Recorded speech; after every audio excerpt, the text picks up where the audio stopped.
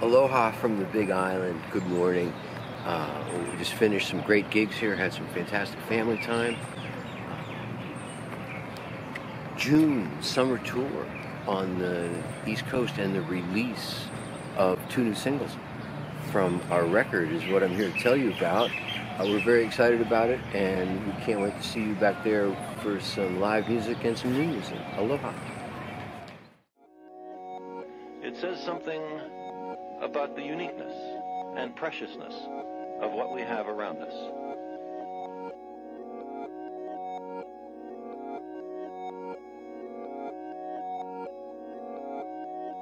And today there are three.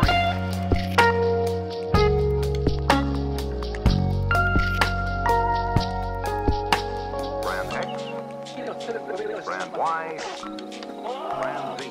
And yet,